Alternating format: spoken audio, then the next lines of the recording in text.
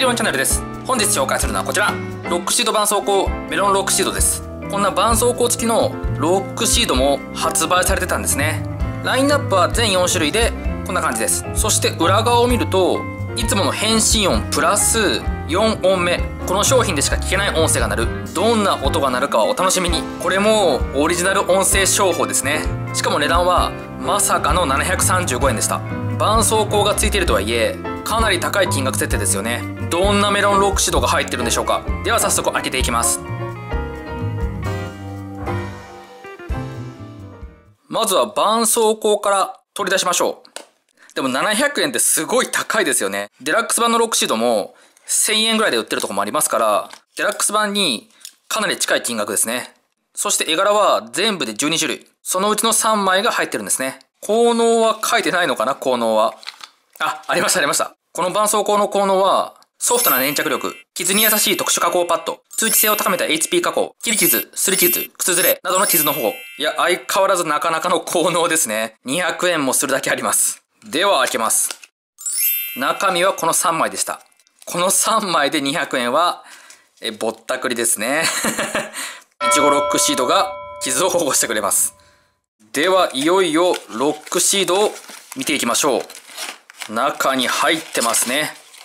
おー、いつものメロンロックシードに見えます。はい、出ました。見た目はいつものロックシードですね。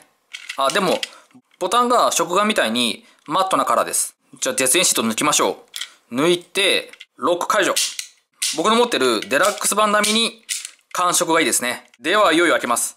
開けると、おー完全なグリーンのプラスチックです。なるほど。ちなみに、デラックス版と比べると、これくらい差があります。この充電池板装甲は、食玩版がベースになってるんですね。なのでクリアパーツも使われてませんし、メロンディフェンダーもはっきりとしたカラーのシールです。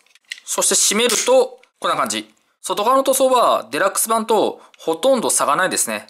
そして食玩版のオレンジと比べるとマットなカラーリングがそっくりです。でもよく見たら、食玩版は断面が銀ピカシールなんですけど、こっちは光もしないですね。ただのシールって感じです。そう思うと、クリアパーツもなしで、銀ピカシールもなし。500円はちょっと高いですかね。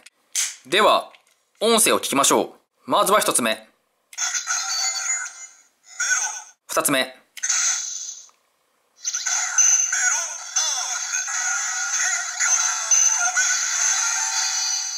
では三つ目。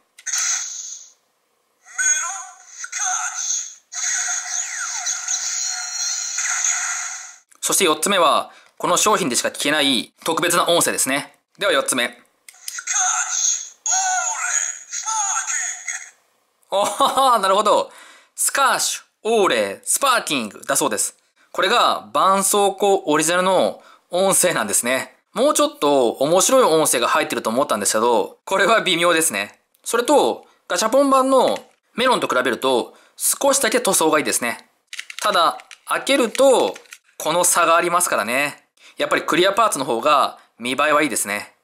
簡単に宣告ドライバーで連動させてみましょう。つけてロック。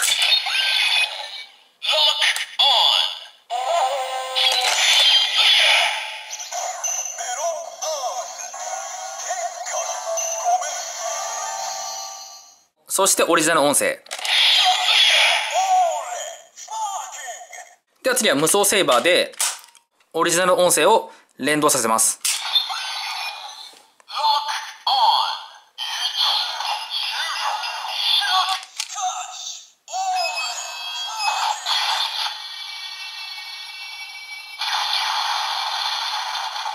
やっぱりちょっとチープに見えますかね。はい、ということで、ロックシード絆創膏のメロンロックシードを紹介しました。まあ、700円の定価の割には、クリアパーツも使われてなくって、音量も小さくって、オリジナル音声もちょっと微妙でした。全4種類なので、他にもオレンジ、バナナ、パインがあるんですけど、とりあえず今回はスルーですね。絆創膏オリジナルのロックシードが出れば、また買おうと思います。以上、ロックシード絆創膏メロンロックシードの紹介でした。